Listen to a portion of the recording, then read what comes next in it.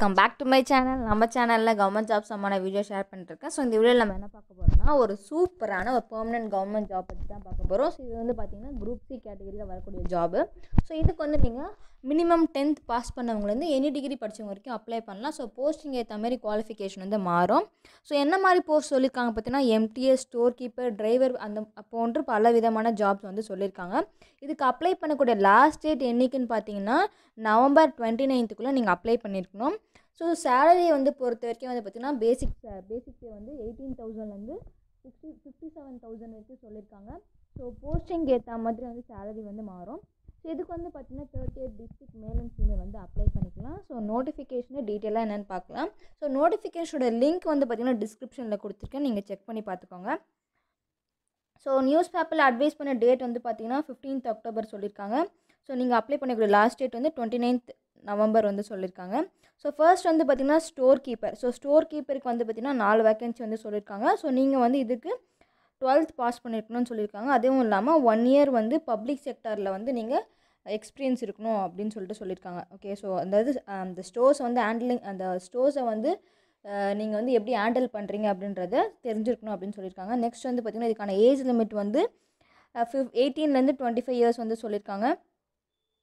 And next வந்து பார்த்திங்கன்னா டிரைவருக்கு போஸ்டிங் வந்து பார்த்திங்கன்னா அதில் வந்து ரெண்டு வேக்கன்சி சொல்லியிருக்காங்க ஸோ இதுக்கு வந்து மினிமம் வந்து டென்த் பாஸ் பண்ணியிருந்தால் போதும்.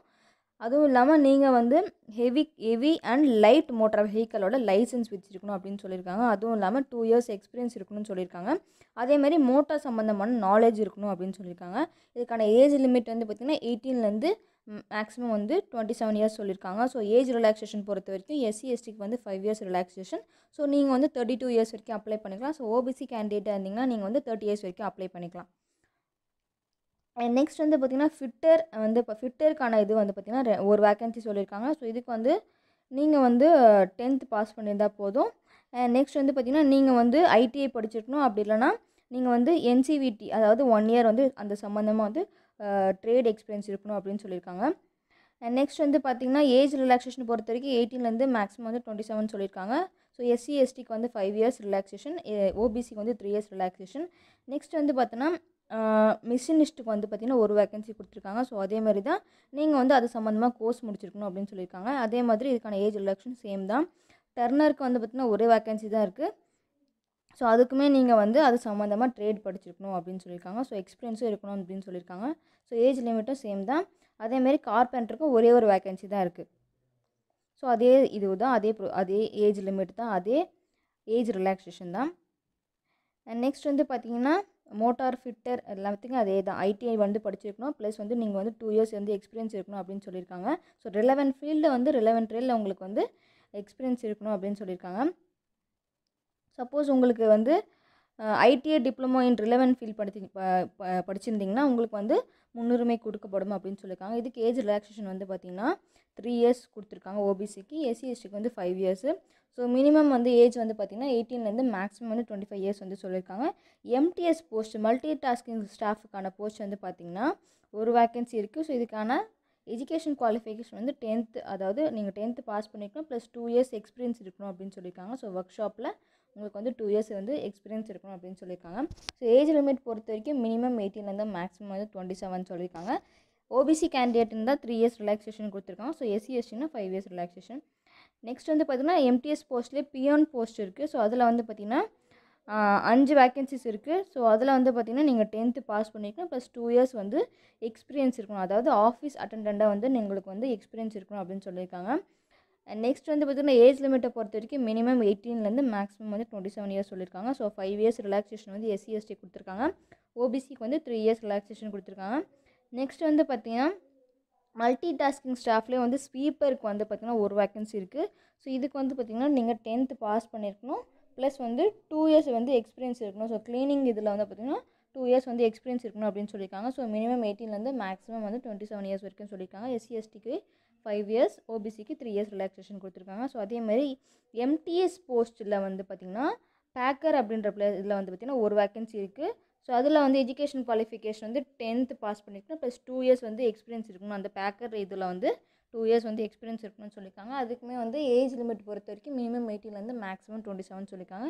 எஸ்சிஎஸ்டிக்கு ஃபைவ் இயர்ஸ் ஓபிசிக்கு த்ரீ இயர்ஸ் நெக்ஸ்ட் வந்து பார்த்திங்கன்னா ஷிப் ஃபீட்டருக்கு வந்து பார்த்திங்கன்னா ஒரு வேக்கன்சி இருக்குது ஸோ இதுக்கு வந்து நீங்கள் டென்த்து பாஸ் பண்ணிக்கணும் அப்படின்னா வந்து ஐடிஐ வந்து ரிலவன் ட்ரேடில் வந்து நீங்கள் படிச்சிருக்கணும் அப்படின்னு சொல்லியிருக்காங்க ஸோ த்ரீ இயர்ஸ் வந்து எக்ஸ்பீரியன்ஸ் இருக்கணும் அப்படின்னு சொல்லியிருக்காங்க ஸோ இதுக்கு வந்து பார்த்திங்கன்னா மினிமம் எயிட்டீன்லேருந்து மேக்ஸிமம் வந்து டுவெண்ட்டி செவன் இயர்ஸ் சொல்லியிருக்காங்க ஸோ எஸ்சி எஸ்டிக்கு ஃபைவ் இயர்ஸு ஓபிசிக்கு த்ரீ இயர்ஸ் ரிலாக்ஸேஷன் கொடுத்துருக்காங்க. ஸோ நெக்ஸ்ட் வந்து பார்த்திங்கன்னா இன்டர்னல் கம்பஷன் இன்ஜினுக்கு வந்து பார்த்திங்கன்னா ஒரு ரெண்டு வேக்கன்சிஸ் இருக்குது ஸோ இதுக்கு வந்து நீங்கள் டென்த்து பாஸ் பண்ணிக்கணும் ப்ளஸ் த்ரீ இயர்ஸ் வந்து எக்ஸ்பீரியன்ஸ் இருக்கணும் அப்படின்னு சொல்லியிருக்காங்க.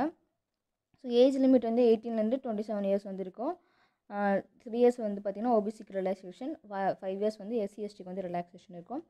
நெக்ஸ்ட் வந்து பார்த்திங்கன்னா ஷீட் மெட்டல் ஒர்க்கருக்கு வந்து பார்த்திங்கன்னா ஒரு வேக்கன்சி இருக்குது ஸோ இதுக்குமே வந்து பார்த்திங்கன்னா நீங்கள் டென்த்து பாஸ் பண்ணிக்கணும். அப்படி இல்லைனா வந்து ஐடி வந்து ரிலவென்ட் ஃபீல்டில் படிச்சிருக்கணும். ப்ளஸ் த்ரீ இயர்ஸ் வந்து எக்ஸ்பீரியன்ஸ் இருக்கும் அப்படின்னு சொல்லியிருக்காங்க. ஸோ மினிமம் எயிட்டீன்லேருந்து மேக்ஸிமம் வந்து டுவெண்ட்டி செவன் இயர்ஸ் வந்து சொல்லியிருக்காங்க. நெக்ஸ்ட் வந்து பார்த்திங்கன்னா எலக்ட்ரிக்கல் ஃபிட்டருக்கு வந்து பார்த்திங்கன்னா ஒரு வேகன்சி இருக்குது ஸோ இதுக்குமே வந்து பார்த்திங்கன்னா நீங்கள் டென்த் பாஸ் பண்ணிக்கணும். ப்ளஸ் ஐடியை வந்து சாரி அப்படி இல்லைனா ஐடியை படி ஐடியை வந்து ரிலவென்ட் ஃபில்லில் பண்ணிக்கணும். ப்ளஸ் த்ரீ இயர்ஸ் வந்து எக்ஸ்பீரியன்ஸ் இருக்கணும் அப்படின்னு சொல்லியிருக்காங்க. ஸோ இதுக்குமே வந்து மினிமம் எயிட்டீன்லேருந்து மேக்ஸிமம் டுவெண்ட்டி செவன் இயர்ஸ் வரைக்கும் சொல்லியிருக்காங்க. நெக்ஸ்ட் வந்து பார்த்திங்கன்னா வெல்டருக்கு வந்து பார்த்திங்கன்னா ரெண்டு வேக்கன்சி இருக்குது ஸோ இதுக்குமே வந்து பார்த்திங்கன்னா நீங்கள் ஐடிஐ படிச்சிருக்கணும். ப்ளஸ் த்ரீ இயர்ஸ் வந்து எக்ஸ்பீரியன்ஸ் இருக்கணும் அப்படின்னு சொல்லியிருக்காங்க. அப்படி இல்லைனா நீங்கள் வந்து ஐடியை வந்து ரிலவென்ட் ட்ரேடில் படிச்சிருக்கணும் அப்படின்னு சொல்லியிருக்காங்க. அதுக்குமே ஏஜ் ரில ஏஜ் லிமிட் பொறுத்த வரைக்கும் மினிமம் எயிட்டீன்லேருந்து மேக்ஸிமம் வந்து டுவெண்ட்டி செவன் சொல்லியிருக்காங்க. ஸோ நீங்கள் வந்து என்னென்னா இது வந்து ஆஃப்லைனில் தான் வந்து நீங்கள் அப்ளை பண்ணணும். ஸோ எப்படின்னா நீ அவங்க சொல்லியிருக்கக்கூடிய காப்பீஸ் அதாவது சர்டிஃபிகேட்ஸ் எல்லாமே வந்து ஒரிஜினல் வந்து சென்ட் பண்ணக்கூடாது.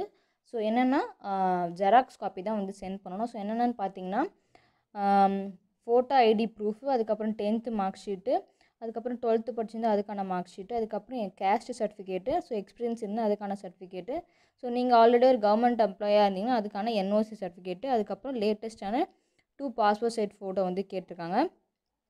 ஸோ என்னென்னா சிலபஸ் பொறுத்த வரைக்கும் ஜென்ரல் நாலேஜ் இருக்கும் மே மேக்ஸ் இருக்கும் அதுக்கப்புறம் ஜென்ரல் இங்கிலீஷ் இருக்கும்.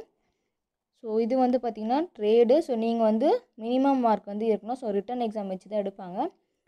நெக்ஸ்ட் வந்து பார்த்திங்கன்னா இதுக்கு வந்து நீங்கள் ஆஃப்லைனில் அப்ளை பண்ணுறீங்களா ஸோ நீங்கள் ஆஃப்லைனில் வந்து அப்ளை பண்ணும்போது உங்களோட டீட்டெயில்ஸ் எல்லாமே கரெக்டாக கொடுங்க. ஸோ நீங்கள் எந்த போஸ்ட்டுக்கு அப்ளை பண்ணுறீங்கன்றதை மென்ஷன் பண்ணிவிட்டு அண்ட் நெக்ஸ்ட்டு வந்து சப்போஸ் நீங்கள் டிரைவருக்கு அப்ளை பண்ணுறது இருந்தால் டிரைவர் அப்படின்னு சொல்லிட்டு மென்ஷன் பண்ணுங்கள் அதுக்கப்புறம் uh, உங்களோட நேம் வந்து கேப் கேபிட்டல் லெட்டரில் எழுதுங்க.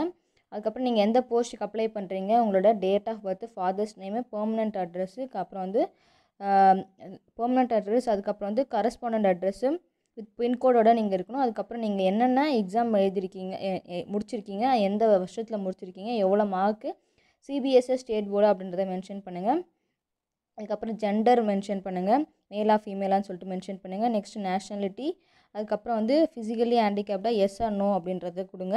அதுக்கப்புறம் நீங்கள் எந்த கேஸ்ட் பிலாங் ஆகியிருக்கீங்க அதை செலக்ட் பண்ணுங்கள் அதுக்கப்புறம் வந்து மொபைல் நம்பர் அதுக்கப்புறம் ஆக்டிவாக இருக்கக்கூடிய மெயில் ஐடி மொபைல் நம்பர் கண்டிப்பாக கொடுக்கணும். ஸோ உங்களோட லெஃப்ட் தம்ப் இம்ப்ரெஷன் வந்து கொடுக்கணும். நெக்ஸ்ட் வந்து பிளேஸு டேட் ஆஃப் பர்த் வந்து மென்ஷன் பண்ண டேட் டேட் வந்து மென்ஷன் பண்ணுங்கள் நெக்ஸ்ட் உங்களோட சிக்னேச்சர் முக்கியம். ஸோ உங்களோட ரீசெண்டாக எடுத்துருக்கக்கூடிய ஃபோட்டோ வந்து இங்கே நீங்கள் பேஸ்ட் பண்ணணும். பேஸ்ட் பண்ணிட்டு பிறகு நீங்கள் வந்து என்னென்னா அவங்க சொல்லியிருக்கக்கூடிய அட்ரஸ்க்கு வந்து நீங்கள் சென்ட் பண்ணுற மாதிரி இருக்கும். ஓகேங்களா ஸோ வந்து பார்த்திங்கன்னா the commander coast guard region east near Napier bridge fort saint George Chennai ஆறு லட்சத்தி ஒம்பது. ஸோ இந்த அட்ரஸ்க்கு வந்து நீங்கள் அப்ளை பண்ணணும். ஸோ என்னென்னா இவங்க வந்து இந்த அட்ரஸ்க்கு வந்து பார்த்திங்கன்னா நீங்கள் அப்ளை பண்ணுறது அப்ளை பண்ணணும். ஸோ ஃபஸ்ட்டு வந்து பார்த்திங்கன்னா ஏ ஃபோர் கவரில் வந்து டாப்பில் வந்து நீங்கள் எந்த போஸ்ட்டுக்கு application for the post of அப்படின்னு சொல்லிட்டு நீங்கள் டிரைவருக்கு அப்ளை பண்ணுறது அந்த டிரைவர்னு சொல்லிட்டு மென்ஷன் பண்ணிட்டு நீங்கள் வந்து எஸ்சி எஸ்டியா ஓபிசியா இல்லை இடபிள்யூஎஸ் கேட்டகரியா எந்த கேட்டகரி அந்த கேட்டகரியாக வந்து ப்ராக்கெட்டில் வந்து நீங்கள் போடணும் மென்ஷன் பண்ணணும். அதுக்கப்புறம் ஃப்ரம் அட்ரஸ் டூ அட்ரஸ் இருக்கணும். இது வந்து ஏ ஃபோர் கவரில் அதுக்கப்புறம் என்வலப் கவரில் வந்து என்னென்னு பார்த்தீங்கன்னா ஃபிஃப்டி ருபீஸ் ஸ்டாம்ப் வந்து பேஸ்ட் பண்ணணும். மற்றது எதுவுமே அதை எழுதக்கூடாது பிளாங்காக தான் இருக்கணும். ஸோ ஃபிஃப்டி ருபீ ஸ்டாம்ப் மட்டும் பேஸ்ட் பண்ணணும். ஓகேங்களா ஸோ இப்படி தான் இருக்கும். ஸோ நெக்ஸ்ட் வந்து பார்த்தீங்கன்னா நீங்கள் வந்து கரெக்டாக ஃபில் பண்ணுங்கள் ஸோ லாஸ்ட் டேட் வரைக்கும் வெயிட் பண்ணாதீங்க. ஸோ கரெக்டாக வந்து நவம்பர் டுவெண்ட்டி நைன்த் வரைக்கும் நவம்பர் டுவெண்ட்டி நைன்த் தானே அப்புறமா அப்ளை பண்ணலாம் அப்படிலாம் நினைக்க நினைக்காதீங்க. ஸோ எவ்வளோ சீக்கிரமாக அப்ளை பண்ண முடியுமோ ஸோ சீக்கிரமாக அப்ளை பண்ணிவிடுங்க ஓகேங்களா ஸோ இந்த வீடியோ உங்களுக்கு கண்டிப்பாக ரொம்ப யூஸ்ஃபுல்லாக இருக்குன்னு நினைக்கிறேன். ஸோ இந்த வீடியோ உங்களுக்கு பிடிச்சிருந்தா லைக் பண்ணுங்கள் ஷேர் பண்ணுங்கள் அண்ட் தேங்க்ஸ் ஃபார் வாட்சிங்